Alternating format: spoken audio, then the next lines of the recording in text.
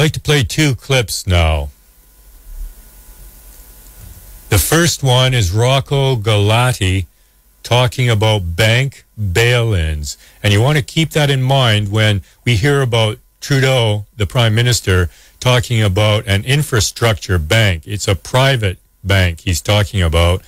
And that infrastructure bank will fund, allegedly, according to Trudeau's plans, the public private partnerships where the Liberals intend to sell off Canadian assets to private enterprise. So here's Rocco Galati, a tax lawyer and has been the COMER lawyer for the Committee on Monetary and Economic Reform. He's speaking about bank bail ins.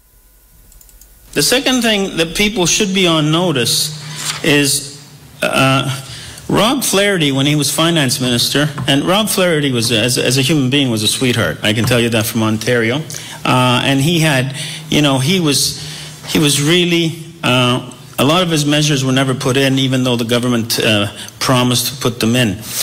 In the last two budgets, he put Canadians on notice, you know.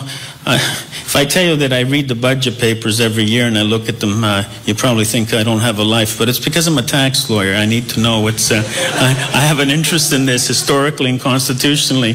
Uh, in the last two budgets that he oversaw as finance finance minister, how many of you heard of the term bail-in? Not bailout, bail-in. Show hands. All right. So uh, let me let me explain to you. Sorry, sorry, sorry, suckers. What bail-in means. Okay. With the first fi uh, financial bank crash in 2008, the governments, the U.S. and Canadian governments, bailed out the bank debt. Just gave them the money. They bailed them out. Flaherty said, "Never again." He put us as taxpayers and depositors on notice that we're bailed in to the bank. When you deposit $100 into a bank account, I have some news for you that you probably don't know. The money belongs to the bank. It's their money.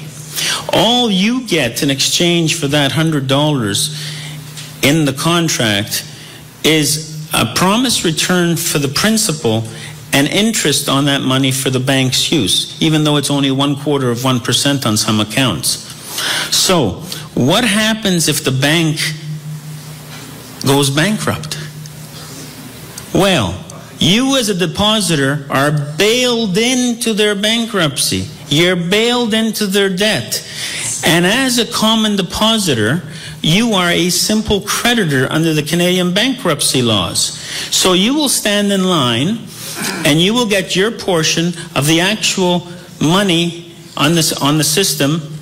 Uh, that's it. What they call in reserve. The bank reserves right now are 2%. So for every $100 that you deposit, they're only required to keep $2 in reserve. So you will stand in line and get 2 cents on the dollar if a bank goes bankrupt. And all of you are saying, oh, no, no, no, but I saw the commercials. My bank account, 60,000 is guaranteed by the insurance fund. That's true. But the entire global maximum of that fund nationwide is $2 billion. So maybe you'll get another quarter cent uh, in addition to your two cents. That insurance fund is a placebo. Okay? It's only $2 billion. That's nothing for a nation of 35 million people. All right? So understand this. You are bailed in to the bank's debt. And people ask me, you know, when I talk at conferences, well, you think what hap almost happened to Cyprus could happen in Canada? Yes. I say no. It's already happened in Canada. In 1992, in Alberta, a trust company went bankrupt. Mr. Justice Estey, uh, uh, uh, uh, of the Supreme Court Justice ran a, uh, you know, an, an inquiry. At the end of the day, I think those depositors got eight cents to the dollar. So, not can it happen, it's happened. And of course, it happened in the Great Depression, big time. Okay? So, this is where we are. Uh, so, we are allowing private bankers in a foreign country not only to determine our banking policies and everything else, but to hold us hostage to their private profit needs. And so that's Rocco Galati on May 3rd, 2015. It's a clip taken from the COMER versus Bank of Canada video on YouTube. And uh, I believe that's on this Altered Egos CHLY Facebook page. I'll put it up this afternoon if it is not there. And so that's the big risk of having private banks fund the great infrastructure bank process that our dishonest prime minister is trying to push on us. I have to ask, and we should all be asking, why would we not use the Bank of Canada to borrow money under a controlled environment where we don't pay 30 billion plus dollars in interest to private banks? That's money completely wasted. Now, just to end the first hour, because we'll be coming into the second hour with Nicole Lebrasseur of the myfreedom2017.com website and the overhaul of our governance and electoral systems into a more democratic process. That's coming up in the second hour.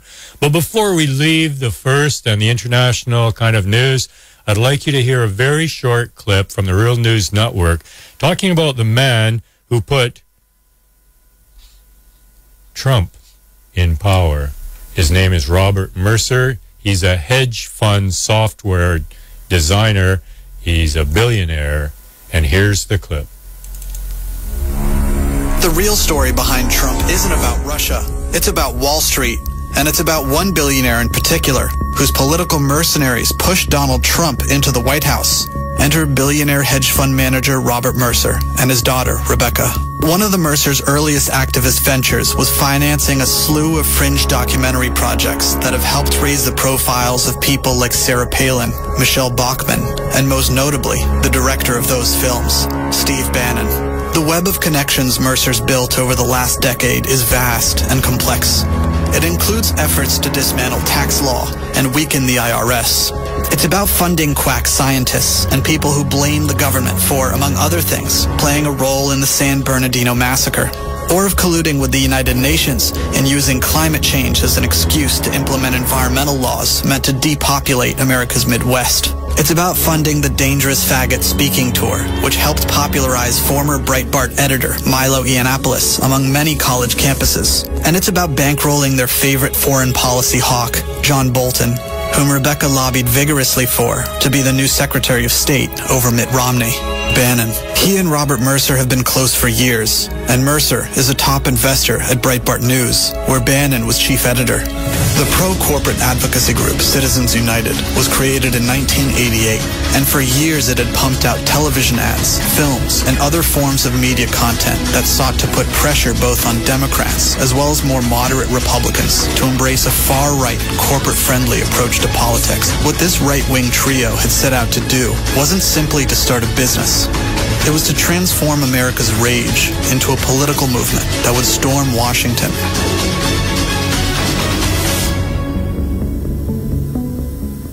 One hundred one point seven FM CHLY Question Authority. And welcome back to the second hour of Altered Egos on CHLY. You're listening to Atlas Revolt on the Beyond the Pale group or CD by Ruckus. And uh, I have on the line Nicole Lebrasseur. Good afternoon, Nicole. Hey, good morning, Bob. How are you? Pretty darn good. We finally got some rain here, some serious rain, and everything smells just great. Well, here it's sunny and chilly. My nose is frozen solid, so if you hear me sniffling, don't ask why. Okay, alrighty. I won't ask then. It's, it's been a gosh, several weeks since we spoke, and you've been very, very busy. So, yeah. what are you up to? Well, uh, we had no choice, as you know, like we were part of the IAQs movement, which is the Indigenous and Civil Unified Sovereign Enactment, because First Nations, the nations across Canada, uh, and Canadians have to get together and, and agree to, you know, uh, do a, some type of uh, direct democracy, which is synonymous to the great law the Haudenosaunee Great Law, direct democracy, which is 100% consensus. Although we know we'll never reach that high in Canada, we're hoping that at least we can, uh, once we have final decision-making authority back into the hands of the people and out of our politicians who are killing this country, uh, hopefully we'll have we'll be able to make decisions according to at least 70 to 75 percent. So this way, people won't feel as though it's you know mob rule because 51 percent is mob rule. Well, you know, a lot of people have died for that mob rule. Well, uh, if we don't stop what's happening now, a lot of people will die. But in, in the matter of speaking, uh, uh, from depression and you know not seeing any reason to live in this country because of all the stress that everybody is suffering at the hands of corporations.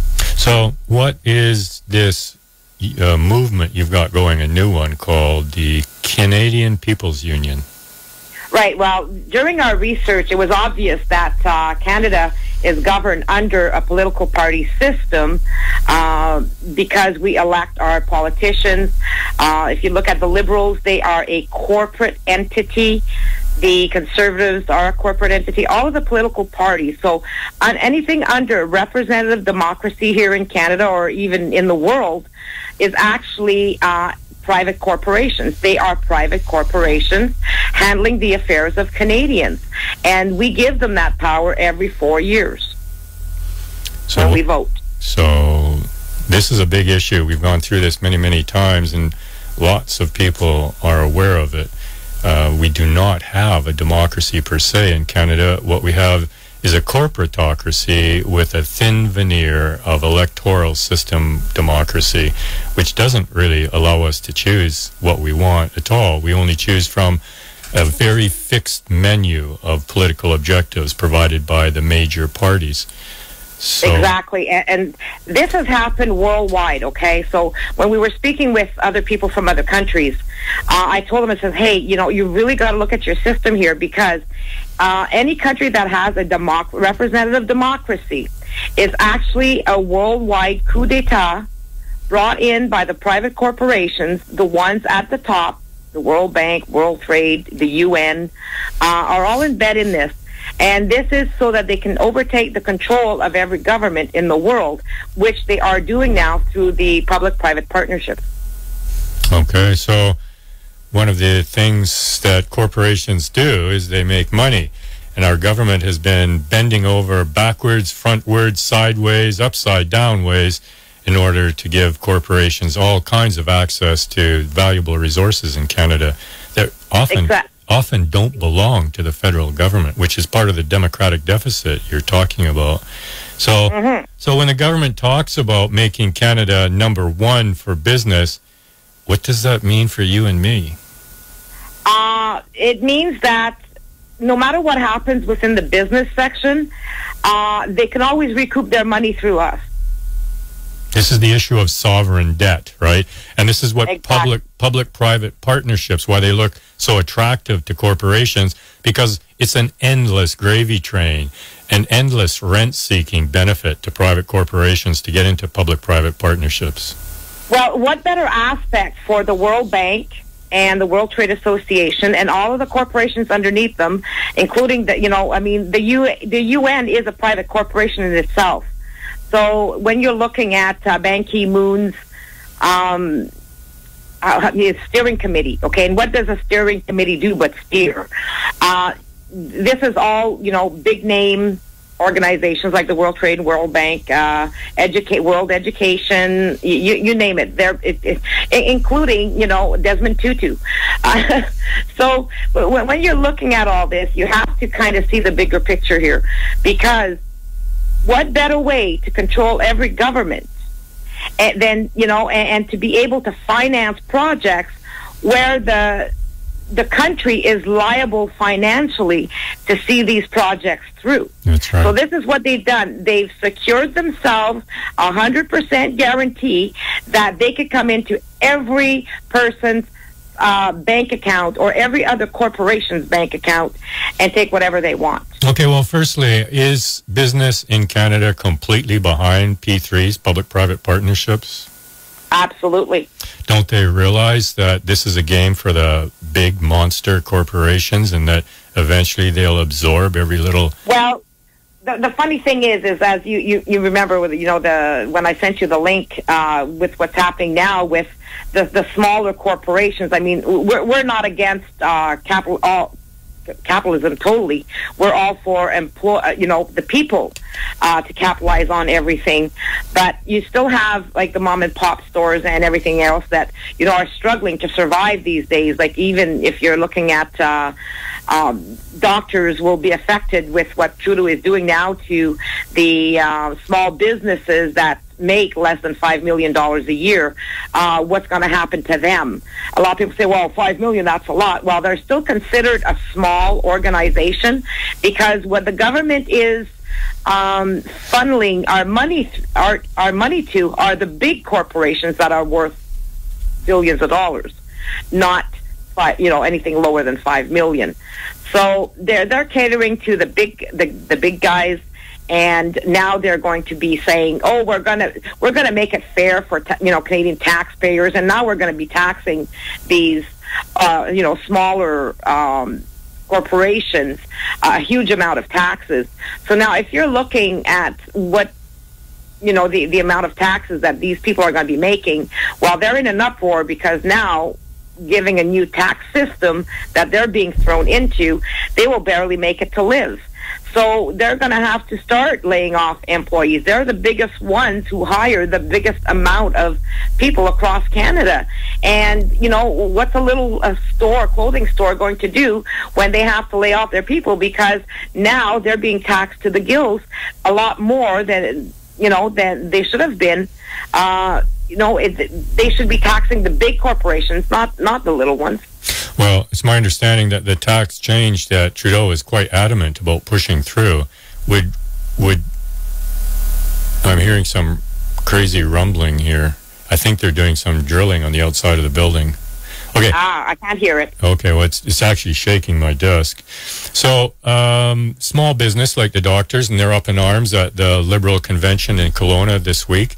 And their problem is that the federal government did allow doctors who are incorporated uh, to be able to sprinkle their income over family members who may be stay-at-home child uh, managers, etc. Uh, that's been withdrawn, is my understanding, and that's what the big uproar is about. And I don't think doctors who are the most highly paid workers in Canadian society, I don't think they fully appreciate that P3s and these big corporate inputs to Canadian infrastructure, once they get a toehold, these doctors will find themselves working for a medical corporation because this whole scene of, as you say, supporting big corporations by the federal government is not going to stop at just P3s. It's going to go into Medicare and it's going to go into education if we let Everything. it. It's, it's going into everything, every layer of government uh, governance possible, including our water, our electricity, everything. When you look at the, um, see, the thing is, is when I started looking at this, I thought, okay, P3s, they're into five-year contracts, okay. Uh, so they're saying in Canada, the government's saying, oh, some of these, you know, they're just five-year contracts to see how it goes and blah, blah, blah.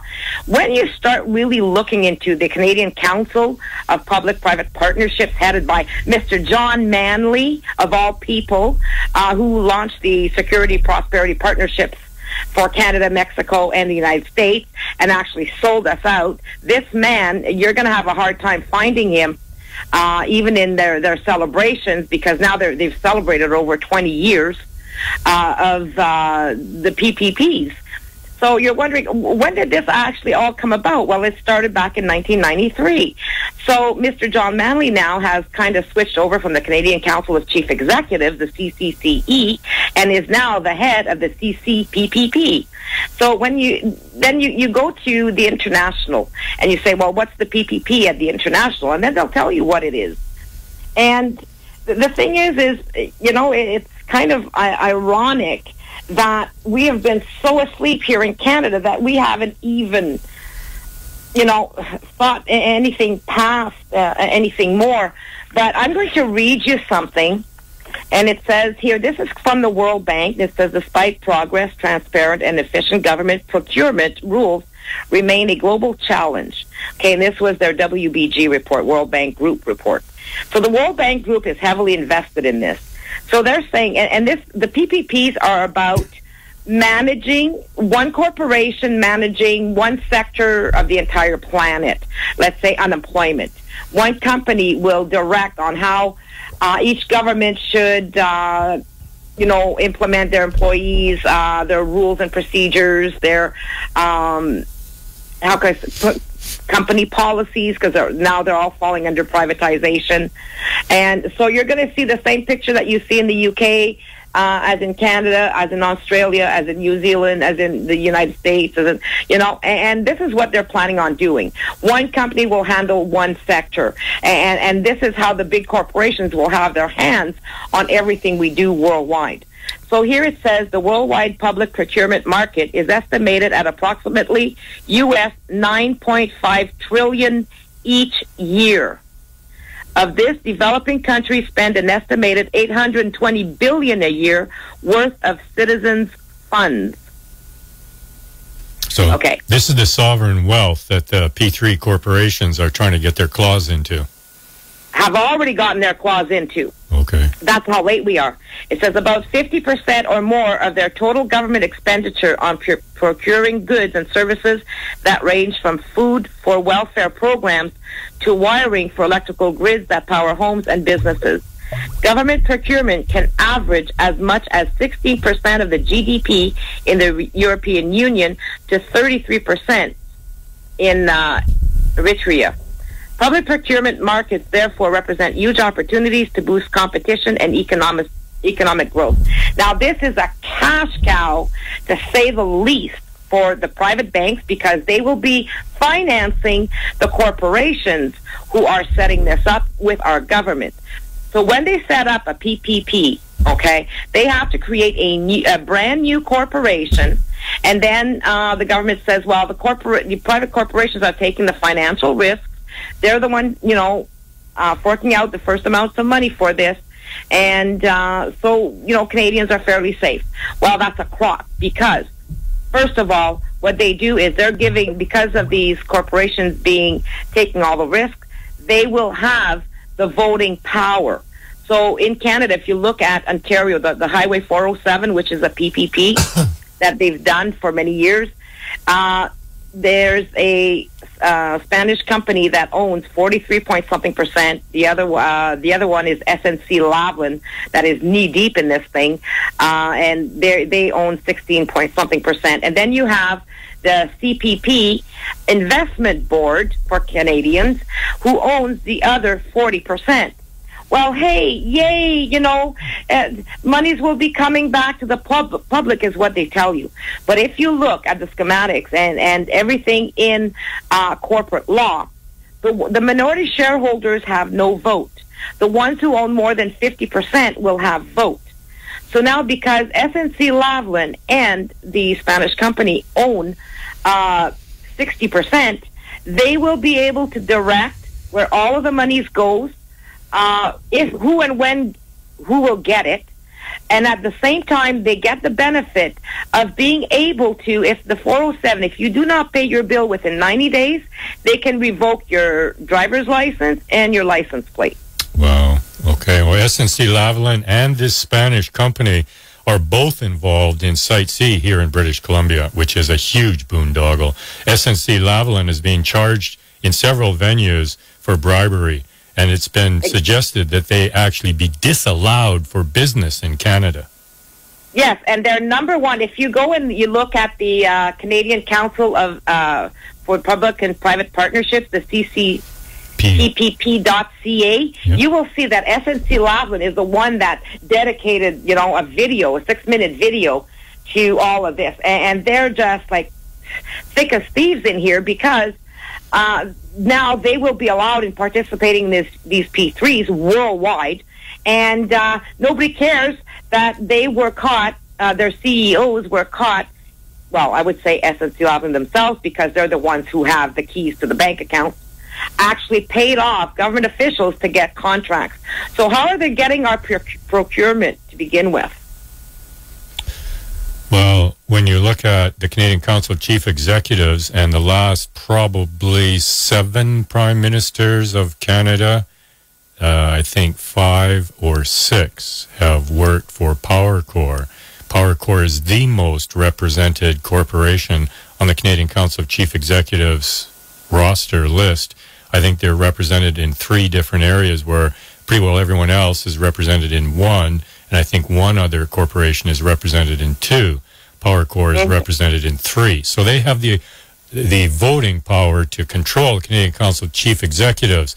And as I've said before, the management of Power Corps, the diaspora of the continental French family, the Desmarais, were actually given a letter of marque by Queen Elizabeth I 400 years ago to steal Spanish or so-called Spanish silver and gold that the Spanish had stolen from South and Central America. So the Desmarais were some of the first, if not the first, pirates of the Caribbean. 400 years later, they're here again controlling this country for the crown. And the crown is, of course, Queen Elizabeth II. That's the Exactly. definition. Now, the the scary thing here uh, that people need to understand is that now you have the people from the Canadian Council of Public-Private Partnerships who are now in bed in running our governance. Every in, uh, avenue of infrastructure, they are to be governing it. So even if you vote for Trudeau, he will only have a 40% say in what happens.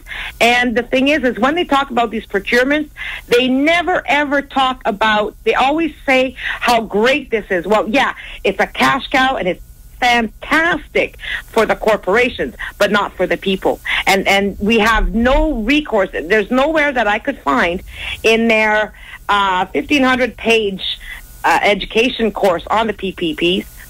Uh, on how Canadians can get out of this, or even our own government signing under this. How long are So- they? How long are these contracts in effect for?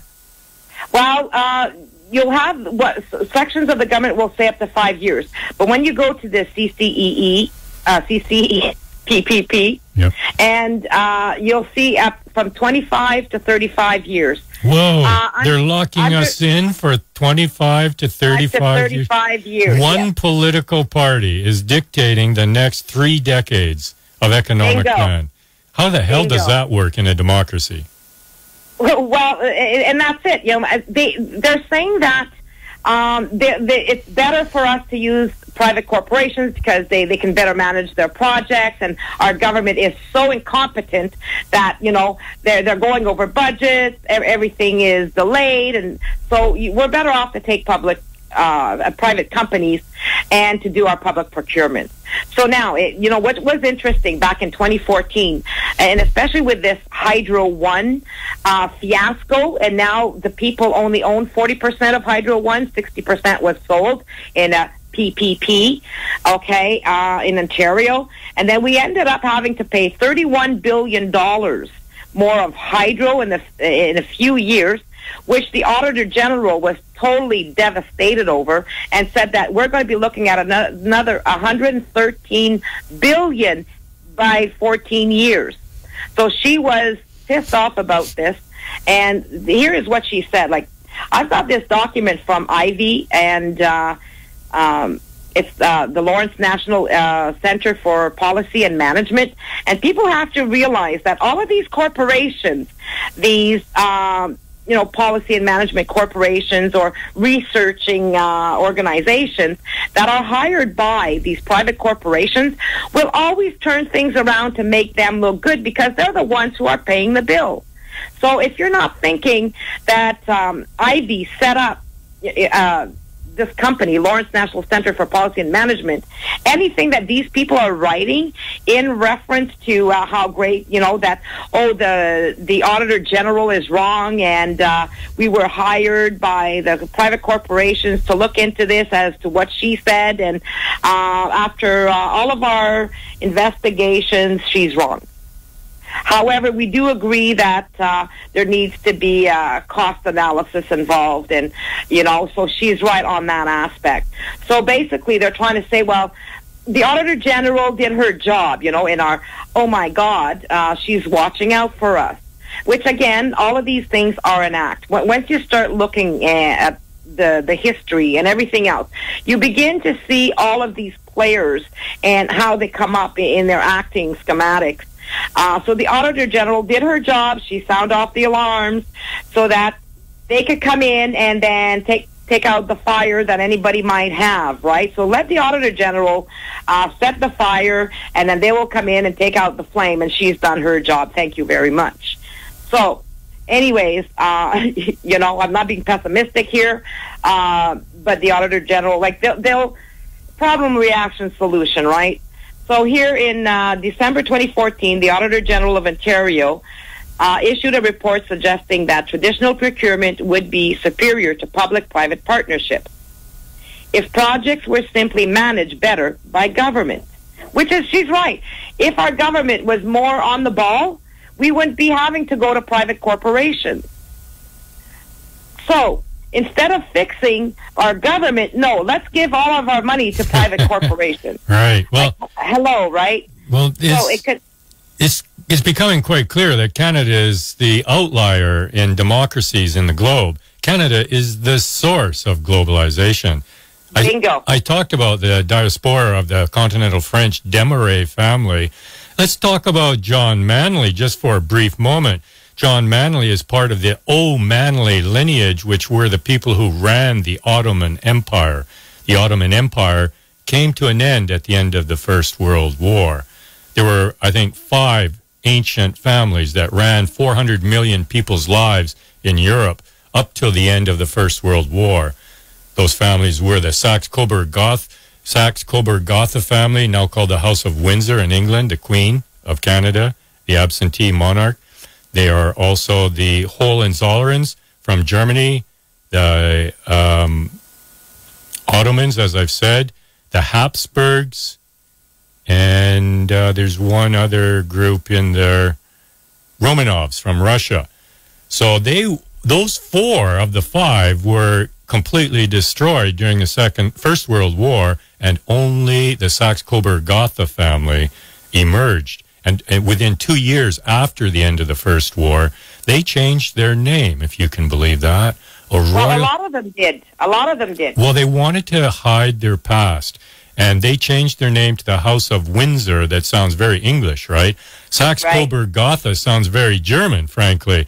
And they were mm-hmm. setting Hitler up to become the tyrant he was, the fascist in Europe, and set up the Second World War within a couple years after the first. Now, all that part about the Second Wars dealt with very nicely in the book called Trading with the Enemy, written by Charles Higham. I've written some parts or read some parts of it here on Altered Egos. I'll be reading the whole book eventually on this program. And it, it details how American companies funded Hitler, Ford, IBM, and Exxon, and a whole pile of others funded Hitler, got him going, and supported his whole operations up until 1943 when they were charged with trading with the enemy, and they were punished for that. So, Right. so Canada is the outlier. It's the source of globalization, and we have Yeah. to we have to accept this. We are being abused. Our image is being abused in the global environment. We send this pretty boy prime minister, the fascist, you know, untruthful prime minister Justin Trudeau, off to argue with Scandinavian countries about how and why they should allow this investor state dispute resolution mechanism in free trade agreements that completely smashes democracy with a three party tribunal meets in secret and does not divulge its results and ends up with Canada, for example, being the most sued uh, country under these so-called free trade agreements. So Canada is a wolf in sheep's clothing. Yeah, and, and what they're doing is is this is a trap for uh, you know the middle class. This is a trap for the lower, you know, the the poor class, and, and it's actually a class war because to, to think of it as anything other than that would be ridiculous. And the, the thing is, is, is their way of controlling, right? Sure. It's an elitist government system that we've got. We've got 300 co-opted people in parliament. Right. So I'm going to co- continue with this, uh, the procurement of public infrastructure. Uh, comparing uh, P3 and traditional approaches. And this is from the Auditor General of Ontario. Well, this is after from the, her comment, right? So they had to do a whole research based on her comment of this, you know, saying that it's no good. Right. So they so, they needed to justify it. Right. So based on our audit work and review of the AFP model, achieving value for money under public sector project delivery would be possible if contracts for public sector projects had strong provisions to manage risk and provide incentives for contractors to complete projects on time and on budget. And if there is a willingness and ability on the part of the public sector to manage the contractor's relationship and enforce the provisions when needed. Total cost for these projects could be lower than under an AFP, and no risk premium would need to be paid. So they're saying that this conclusion by the uh, Auditor General runs counter to what has become broadly accepted thinking among public sector practitioners, not only across Canada, but also around the world, that the P3 approach delivers better outcomes and does so precisely by creating incentives that spur better project performance. This is evidenced by the fact that a growing number of prominent multilateral institutions, such as the World Bank, now listen, listen to this one. This is evidenced by the fact that a growing number of prominent multilateral institutions, such as the World Bank, Inter-American Development Bank, and the United Nations have created subsidiaries dedicated to capacity building in P3 procure, procurement methods for infrastructure. Um, across the industrial world, countries such as the U.S., U.K., and Australia who have applied the P3 approach intensively to meet their infrastructure needs. Now, let's not mention Canada here and all the other ones. Hmm. Okay, so this is where this is coming from. And people need to wake the hell up because if you're running to the UN, you are entering the, the the, you're you're entering the cave of the wolf, okay. and that's who's going to chew you up and chew you out. You know, like so pe- people have to realize that, you know, these things. So, and, and why are they saying such good things about this? Well, again, it's, you know, to make sure that, oh, well, people are wrong. And look at the AG, she was wrong. So because she said that, we made sure that we fixed up, uh, you know, uh, to make sure that it was cost effective and uh, all of these implementations. Well, let me tell you, if the financial markets drop tomorrow, what happens to these P3s? Exactly. The Canadian citizens will be in hawk to their ear, up to their ears, to the private banks for these loans because we are part. Uh, one of the reasons why we can't even fight these P3s is because we are placed as minority shareholders with less than 50% say and uh, actually have no say. And who are we going to sue ourselves? Well, P3s are for corporate profit, not for public benefit. And a big study, exactly. a, a, big study out of Australia, which I'll send you a copy of, made that abundantly clear. And we've done studies in North America and seen the same thing. In Europe as well. P3s are on the decline. For our fossilized prime minister to start to dredge them back up is totally unconscionable. He's a traitor to working people in Canada. And so why would we not use the Bank of Canada for that project? Like that's a no bloody brainer, you know? Why would you want to borrow at interest if you're actually working for the people of Canada? He is not. That's obvious. He is, yeah, he uh, definitely he is not. And every time that he speaks, and this is what I do. There's an exercise that people really need to focus on. And it, it's that when they listen to Trudeau or any uh, political party speak, it doesn't matter who it is, because let's not forget, they are all part of this corporation. They are all part of this plan. There's no NDP that's going to come and save the day. There's no conservative that's going to come and save the day. They all work for the same people.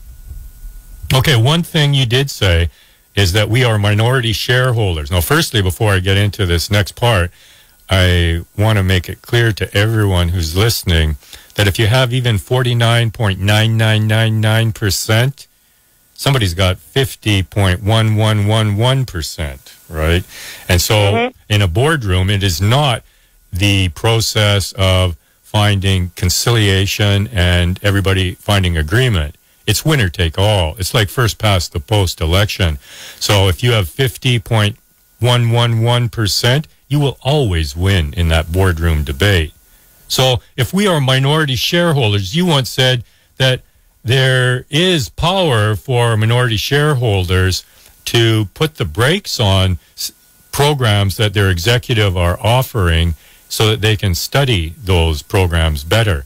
Can you speak a little bit to that, or is that it? Yeah, th- this is the reason why we launched the Canadian People's Union, Freedom 2017, because uh, the reason why the people need to join this is because now that they've actually placed us as minority shareholders under we are governed under corporate law and we can only fight them under corporate law otherwise they will throw you under the bus to the charter of rights and freedoms and you can only speak for yourself and not the rest of Canadians. So, under corporate law though, we can go in there if we have enough people and I'm talking about hundreds of thousands of people need to sign up to the union if we're going to make an impact because we can go in there and say, hey, we're the minority shareholders, and under corporate law, as it exists today, uh, minority shareholders have then the judges have the right to come in and place a moratorium when the minority shareholders have a complaint, a serious complaint. Right. So, right. so this is the only time under, and this is why the courts cannot. Uh, our governance system is not justifiable. So the, the courts cannot interfere in the way that we do our governance here in Canada, which is a corp by a corporate entity. We can they can only come into it because under the Corporations Act there is a clause to protect minority shareholders when the top ones are doing something they do not approve of. Well, many people have hear, heard the book or the movie called Minority Report. And that's very, very similar to what you're talking about in, I believe it's Robert's Rules of Order for managing board meetings and assemblies, deliberative assemblies in the Western world. If you're a minority on a vote, like I was just mentioning in a moment ago about uh, the 50.111% always get what they want, while the 49.999% can file a minority report. And, and that yeah. can be part of the minutes of that meeting. And it, it would explain why they're opposed to what's going on. So there is that powerful potential. You know, how many people who take corporate law take it to deal with politics instead of making money in a corporation somewhere? They never, and this is why people are so disconnected from the fact that we are ruled under corporate law. Okay. Nobody thinks about that. And because, oh, that's for business. No, no, no, no, no. That's how you are ruled and governed. Okay. So, so it, would we be better off to get involved with the BRICS group, the Brazil, Russia, oh, India, hell no. China? Hell no. Well, first of all, first of all, Bob, what does the BRICS? What is the BRICS? The BRICS is supposed to be set up for, uh, you know, countries who are financially strapped and who can borrow money at a cheaper rate than they can from the IMF. Okay. That's the that, that's the thing with the BRICS. First of all, in Canada, we don't need to borrow anything from the BRICS. So get the BRICS out of your head because we have enough natural resources and human resources that we would never need the BRICS unless these P3s throw us under the bus with our government and we're going to have to declare bankruptcy. Well, the other thing uh, to remember is that we have the Bank of Canada. It's still a legal entity. It has not been disbanded through Parliament. The Bank of Canada Act of 1937-38 still stands. I'm a, I'm amazed that nobody in Parliament has stood up and said, "Well, you know, don't you think we should save our constituents at least thirty billion dollars a year of interest to private banks, and we should borrow from the Bank of Canada for these P3 alleged infrastructure investments. We could do it all through the Bank of Canada. We don't need to have private banks get involved at all. And we can manage SNC Lavalin and Spanish or whoever else to do this work properly when you have that kind of borrowing capacity at zero interest rate from the Bank of Canada. You can bring on board people who do know how to manage big industrial operations. When we well, see, Bob, no offense here, but to think that somebody in Parliament could stand up and do that, do that, unless they want to look good, Okay, they can say a lot of things that, oh yeah, this guy really wants us to stop this and you know and reinstate our bank, but in the end, they will, as a group, they can't. Well, I believe Why? that. I believe Because- that. I believe that because they're they're members of a corporation they've signed on to, right? They've signed on saying they will not go against policy. You know, what we need is to bring some of these documents they sign on air and read them and see how Well, restrictive look, they are. if you look at the the liberal uh, party's uh, constitution, I mean, it's over eighty pages. Well, sure, but that's the Constitution. That's not the contract. I bet there's a contract with a member that they bring in to run in a riding. They sign a contract. I'll bet you dollars to donuts on that.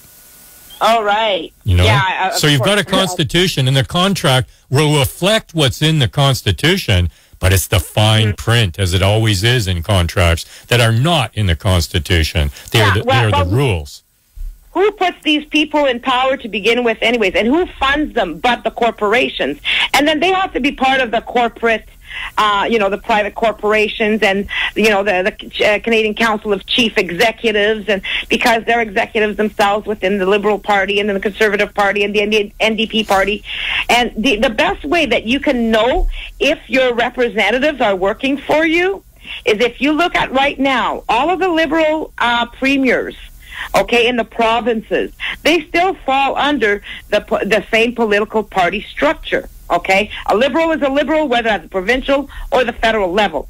The only thing that makes them uh, different in distinction is right now uh, Trudeau has all the power because uh, eight of his MPs are liberals.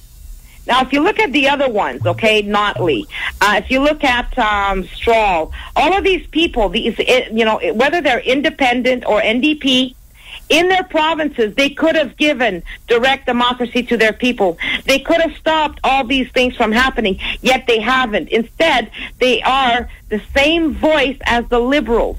So if you can't see that they are all in bed together, you are blind as a bat. Well, the best And- the best way to look at that, I think, is to see what the outcomes are in the various provinces, and especially for essential items like food, education, healthcare, and utility power like electricity. How could we have these incredibly badly designed economic fiascos going on in like four or five provinces simultaneously? Like, like what is this? Something, Well- some Kool Aid they had at a House No, of Commons meeting, or what is going on? But but Bob, like I was explaining to you, back in 2011, okay, Harper and Obama and all of them got this memo, uh, you know, from the UNPAN, and this is for globalization. So from the UN, and their instructions were, well, you know, um, the government, the people have to really hate their government, and uh, then we're going to need some new blood to come in for the people to like and to have hope in, and to start, you know, making them think that they have a democracy. So not because they hate their governments, you have to go in there and have them like you. So uh, so now Harper and Obama both, and, and everybody else in the other countries, launched what you call the Open Government Program, right? They, I have screenshots from 2011 uh, where they started um, putting on the Canadian website uh, the open government. And then in 2013 or 14, this little NDP says, "Oh, we need open government and honesty, and you know, get people's opinions." And so he was hailed, "Yeah, yeah, yeah. Look at the NDP's got a nice idea."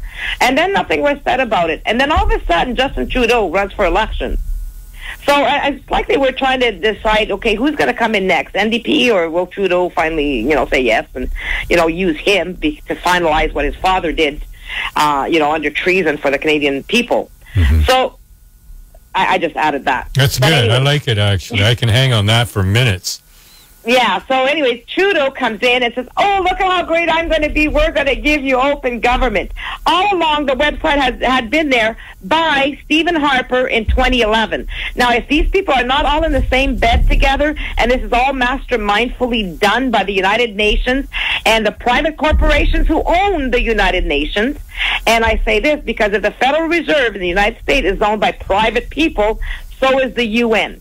So you just need to connect the dots, connect the money, uh, follow what's being said. Now, coming back to the BRICS would be ridiculous to even support that because it actually came from the IMF. People need to start reading their shit. Because if you don't look at everything around the world that's happening, you can't connect the dots. You're going to make bad decisions and you're going to get caught in their snares. So you know, right now you've got tons of people fighting all kinds of different issues. You know, uh, taxation now for the doctors. Um, you know, the, the smaller companies, and then you have uh, vaccines, chemtrails, tar sands, everything. If we don't all get together under the Canadian People's Union, we are doomed. Because nothing in law supersedes the will of the people. So we already have the Convention of Consent that people need to sign as well as join the union because we need to come at them from all sides. And the only way that we're going to win is through the voice of the people, not what the courts would say, because the courts in the end will have to agree that yes. And they've said so themselves in not so many words until we democratically change uh, our governing system, nothing can change. Uh, you know, we're supposed, we are the uh, shareholders of the Crown Corporation, but until our governing bodies go and change the text in our Constitution to reflect all of the changes they've made in 150 years, we're still bound by those stupid rules that actually will get thrown out because all of a sudden the Canadian government government comes in and says, well, I'm sorry, you lost your case because we appealed this 20 years ago and you should have known about this if you would have done your research and but you didn't know so hey this case you know we win. And you lose again so how are we ever going to win anything if we don't clean up the mess within our constitution our governance and it needs to be by the will of the people because nothing else will win this thing well they've divided that will quite nicely have they not by making exactly we have by having people chase chase their tails under different agendas. Yeah. Oh, they're fighting this, they're taking that to court, they're taking Yeah. this to, Yeah. and and they've got everybody separated, segregated, now hating each other under, um, you know, hating Muslims for no reason because who did this but our own government? Everything that happens in Canada is at the hands of our politicians who are run by private corporations who are taking over this planet, who devise a voting system that is all corporate in order to do a coup d'etat over all the citizens of the world. If we don't wake up now, we're in deep shit. And I'll tell you something. Right now, they've got a flash sale going on in Canada. If you go to uh, the Canada government website under Invest in Canada, Think Canada, July 2017. This was prepared by the Investment Strategy and uh, Analysis Division, Office of the Chief Economist, Global Affairs Canada. Now, why should we trust the economists of today who actually sunk us in 20 to 2008? Why are we still listening to these people? I have no clue. But anyway, moving on. What they say about Canada, Canada is number one in the world right now in the G7 and the G20 for real GDP growth, uh, for um, Canada's strong economy, for Canada lead Canada leads G7 countries in long-term GDP growth. you still there So Yep. yeah, I'm still here. And it says, you know, uh, so Canada is number one and for business. So when the government talks to talks to the Canadian citizens, they're talking about our financial economy. They're talking to the corporations. They're talking to the Canadian shareholders of these corporations, not the people. How many people do you know who own bank stock? I don't know no. anybody. I don't know anybody. The people who invest in the stock market are the old money, the ancient money, and some new super wealthy that just hit the right button at Facebook or Google or whatnot. Uh, very, very few people who are working class people get wealthy in this country. It's old money recirculating. It's money for nothing people, the elitists who get their incomes paid for through stock market deals, and they get to lean on governments to make sure they have an endless supply of sovereign wealth income at least. So that's Right. part of the problem. And a good way to deal with this is to identify these ancient families and to see where they're connected. You know, a recent, some recent reading I was doing about uh, Thomas Jefferson and uh, the name Gordon Cummings, Gordon Dash Cummings, a family name came up. And it's an old English name. And earlier in this show, in the first hour, I talked about Cummins Diesel putting out their first electric semi truck, right? Cummins Diesel is the Cummins family from way back in the day. That's just one other example of how the elite have been going multi generationally, getting all the good jobs and getting all the investments because who else has the capital to invest? I mean, we're into what is it now? Seven years of austerity in Canada while we still have GDP growth. Like that's an ox- Right. that's an oxymoron if ever there were one. You- yeah, you- well, well, that's Bob.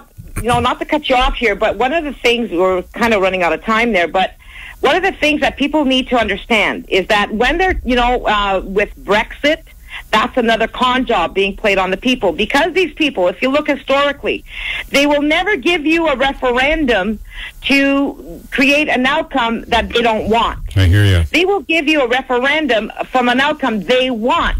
So now, Brexit. The UK is out of Brexit, and now the UK is going to join the BRICS. Yeah, I was The. IMF, yeah, the IMF said themselves that they need to come up with a new monetary system so that they- they could uh, transfer over. Why? Because they want to kill this system so that they come up with a new, you know, because there's too many little millionaires walking around on this planet, and if the little millionaires get together, they can wipe them out. Well, I read So they need to wipe, wipe out the little millionaires. I think the BRIC system is the elites in those countries trying to get a better seat at the table of the global, international, Rothschilds controlled central banking system. That's what's going Exactly. on. And we're going to a cashless society. That's what they want. I mean, if you look at what Russia is starting to look towards seriously on the Well, stock who- who's the grandfather of a cashless system but John Manley? People need to start knocking at this guy's door. He's the one behind everything. They will never put his, his face in a video from what I've seen. And, you, you know, you really got to research. But his name is always there. You know, when they created the North American Union, the book, uh, like over 400 pages, and then in there they had a cashless system, and it was going to be called the Amero, not not a new money, not a new dollar. It was a actually actually a cashless system, and now all of a sudden, poof. Bitcoin shows up. Nobody knows who really created. Now you've got a few guys trying to claim it, but no, no, they never do anything. This is the Delphi technique, and we need to bring this in because what is the Delphi technique? They will give you uh, different choices, but only the choices they want you to make. Okay, never. It's like proportional representation. Uh, they're gonna, oh, we're gonna change the system. We're gonna offer you proportional representation, and then they turn around and say no. Well, guess what? They want you to want proportional representation because, oh, well, Daddy said no, so now you're gonna want it. And this is all a mind game they are playing because the Delphi technique, they will say, okay, choose A, B, C, or D, but you can't have anything else. They will never give you direct democracy. Why? True direct democracy I'm talking about, where the people are the final decision makers in this country. And this is what needs to happen because we are the final decision makers and we need to lift our boots up by the straps and start walking in our boots the way we're supposed to be and become you know, adults that don't need to be pacified, walking around with a soo- soother in our mouth, going, "Mwah, mwah, mwah, mwah, mwah," you know, and oh, make my decisions for me. No, we're in trouble here, and we need to uh, take action. Everybody needs to get on the same page, on the same agenda, and everybody needs to get together under this union and actually do something right before it is too late. So now the, you know, with with all of these mechanisms they've put in place, like the Delphi technique, these PPPs, and oh, it looks good, and you know, people are stupid if they think it's not good. No, no, no. How I want to know how I can get out of this mess and the Canadian citizens and this government if all else fails and they go over budget and they need more money and all of a sudden we've become Greece here where the IMF can take us over and all the world the world banks and all the banking groups who are funding these corporations and getting a guarantee of the Canadian natural resources for payment for this shit. Okay. So. So, where can people get access to the Citizens Declaration of Consent if they choose to sign it? They can go to myfreedom2017.com and uh, read about our union. You can read our mandate, which is about everybody ta- everybody doing our due diligence and taking a step together in changing uh, Canada for the people and, and not for the private corporations. Although we can help all of the corporations in Canada prosper, we need to do this together, but the people need to rule, not the other way around. Okay. Well, always a slice to have a few words with you, Nicole. and, uh, you know, I thank you very much for tearing the scab off so that we can start to heal it properly this time round. It would be such a shame if Canada came so close to a democracy only to have it snatched by a lying prime minister and 300 co-opted members of parliament when we could be free and clear and a leader of freedom and sustainable development in the free world. So Yeah, because Bob, Canada is number one in the world right now with potential, and that's why they're all jumping onto the bandwagon. It is a, a flash sale, and we need to stop this sale from happening, and we need to do it now, not tomorrow. People need to go to their computers, sign up, and do it today, and get everybody involved. Otherwise, we're sunk. Okay. Excellent. Thank you again. Thank you. And we'll talk to you later. Take care. Take, take care as well. Speak to you soon. Bye. Bye bye. That's Nicole Lebrasseur. Go to www.myfreedom2017.com. Look for the Citizens Declaration of Consent and get on board with building a true democracy in a world where democracy is definitely under attack on all levels, on all fronts. So you're listening to Altered Egos on CHLY 101.7 FM in Nanaimo. Coming up next is The Masthead and we'll go into some business material right now. Thank you very much for listening to Altered Egos. I'll be here again next week, 10 till noon. Take care. Put your gumboots on. Remember, resistance is creativity, and creativity is resistance. Bye for now.